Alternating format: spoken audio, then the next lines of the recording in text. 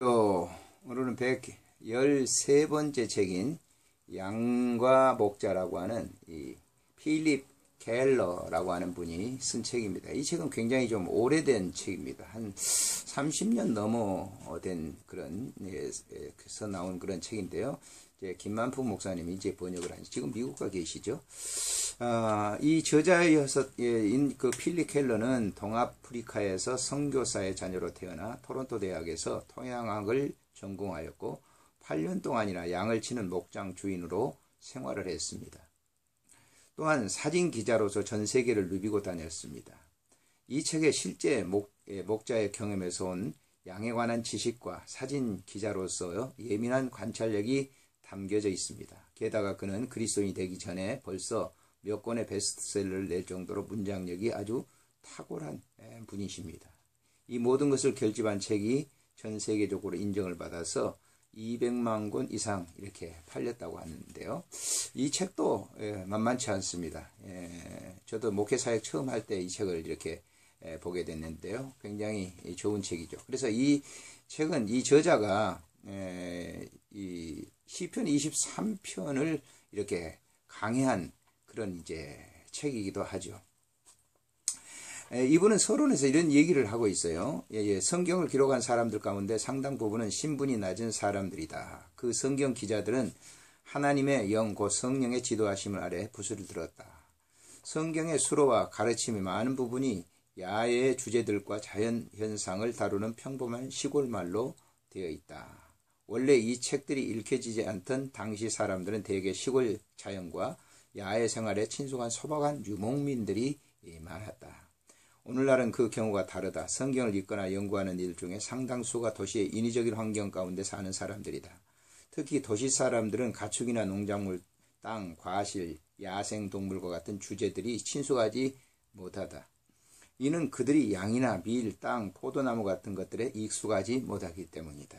하지만 하나님의 계시는 자연 계시의 기본 주제들과 불가피 관계를 가지고 있다. 예수께서 비유로 말씀하실 때 초자연적인 진리를 설명하기 위해서 자연 현상들을 자주 사용하셨던 것을 우리가 볼 수 있죠. 어, 밀과 알곡과 가라지 비유도 그런 거 아닙니까? 그것은 과학적으로나 영, 적으로 확실한 근거가 이, 예, 있는 건전하고도 논의가 여지가 없는 방법들이었다. 우리가 하나님의 자연적인 것들과 초자연적인 것들을 만들어낸 창조시라는 사실을 인정할 때 이 모든 것을 이해할 수 있고 또한 의미를 갖는다. 이 두 영역 안에서 동일한 기본 법칙과, 법칙과 원리와 순서들이 적용된다. 그러므로 어느 하나를 이해하면 나머지 다른 하나에 있어서도 어, 그 병행되는 원리를 파악할 수가 있습니다. 나 자신의 성경에 대한 이해가 그의 의를 갖게 된 것은 바로 이런 형태의 성경 해석을 통해서라는 점을 여기서 밝혀두고자 한다. 그것은 또한 부분적으로 내가 다양한 청중들과 함께 나누었던 진리를 그들이 아주 분명하게 오래도록 기억하고 있는 이유이기도 하다. 따라서 너무 나는 너무도 잘 알려져 있고 또 사랑을 받으면서 자주 오해되고 있는 시편 23편에 대한 목자의 통찰을 모은 이 책을 내놓는 데 대해 아무런 양해를 구하지 아니하는 바이다. 이 책은 다윗이 아름다운 시를 저작할 당시 마음에 품었던 바를 이해하는데 어쩌면 대부분 사람들보다 나 자신에게 더 깊은 이해를 제공해 줄 만한 매우 독특한 배경을 배경을 바탕으로 준비되어 있다. 그 이유는 첫째 내가 중동 지역의 목자들의 관습과 매우 비슷한 동아프리카의 소박한 본토박이 목자들 틈에서 자라났다는 것이다. 그래서 나는 동방 목자의 낭만과 비애의 그림 같은 생활에 아주 친숙하다. 둘째 나는 청년 시절에 실제로 약 8년 동안 양을 치며 살았다. 그 결과 나는 양을 치고 보살피는 일을 직접 체험한 사람으로서 이 책을 쓰게 되었다. 후에 한 지역 교회 평신도 목회자가 된 나는 목사로, 목자로서 나의 양떼와 함께 여러 달 동안 주일마다 이 시편의 진리를 나누었다. 그러므로 본서의 각 장들은 양들과 이가, 양들과의 이같이 다양하고 직접적인 체험들로부터 나온 것이다. 내가 알기로는 직접 양을 기르는 일로 손이 거칠어진 실제 목자가 목자가 목자의 시편에 대해 기, 길게 책을 쓰는 것이 이번이 처음일 것이다.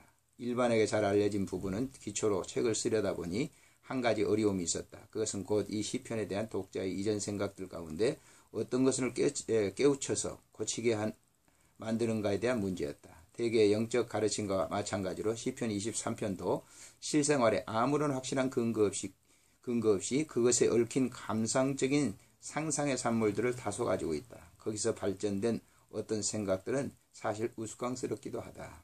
나는 독자가 이제부터 활짝 열린 편견 없는 마음으로 이 책을 이 책을 대할 것을 부탁하고 싶다. 그렇게 한다면 신선한 진리와 독자들에 대한 하나님의 감동적인 보살 돌보심과 관심의 눈길로 그의 심령에 충만할 것이다. 또한 구주께서 자기 양들을 위해 보여주신 주시는 끊임없는 노력을 담대하고 새롭게 인식될 것이다. 그러니까 이 책은 사실 그 시편 23편을 강의하기 했지만은 자기 자신이 이제 8년 동안이나 아, 양을 이렇게 아, 치면서 지냈던 그런 그 생활을 했기 때문에 양들의 심리에 대해서 양들의 그 상태에 대해서 너무 어, 잘 알았죠. 그래서 다윗도 그런 이 양치기 목동 생활을 했기 때문에 시편과 같은 그런 23편의 유명한 시를 이렇게 낼 수가 있죠. 목차에서 보게 되면 이제 그 시편 이, 이 23편 전체를 이렇게 한 줄 한 주제씩 이렇게 에, 단원씩 끊어가면서 그것을 강해를 이렇게 한 겁니다.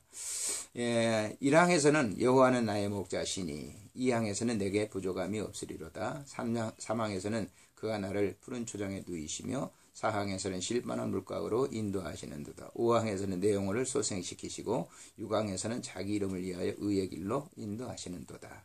실학에서는 내가 사망의 음침한 골짜기로 다닐지라도 파랑 주의 지팡이와 막대기가 나를 아니하시나이다. 구항에서는 주께서 내 원수의 목전에서 내게 상을 베푸시고 십항에서는 기름으로 내 머리에 바르셨으니 십일항 나의 평생의 선하심과 인자하심이 정녕 나를 따르리니 십이항에는 내가 여호와의 집에 영원히 거하리로다 라고 하는 그런 이제 분류별을 나눠 가지고 시편 20, 예, 23편을 강의하는 그런